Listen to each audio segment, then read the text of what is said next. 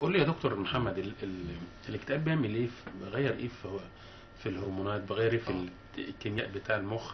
تمام. فبالتالي في العلاج الدوائي بيحسن هذا ال- بالظبط. الموضوع آه تمام. تمام. آه، دلوقتي إحنا عندنا ال- ال- المخ أو الجهاز العصبي بيتواصل مع بعضه مم. عن طريق نبضات عصبية عن طريق تمام. إيه؟ إشارات كهربائية. مظبوط. الإشارات الكهربائية دهيت علشان تطلع عشان المخ ينتجها الإشارات دهيت هو المخ نفسه بينتج مواد كيماوية مم. اللي هي بنسميها الإيه الموصلات العصبية أو الناقلات العصبية ما- أشهر مواد فيهم مادة اسمها السيروتونين ومادة تانية اسمها ال- النور أدرينالين.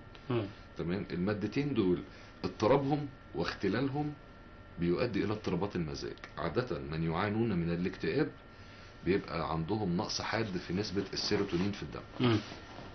وعليه وفي بعض الأبحاث قالت ان بيبقى في ارتباط كمان مع النور أدرينالين كمان هو كمان بيبقى ناقص. وعلى هذا أدوية مضادات الاكتئاب منذ أزل. بتعتمد بشكل كبير جدا على إن هي تزود مادة السيروتونين دهيت في الجهاز العصبي ترجعها لمعدلاتها الطبيعية. تمام.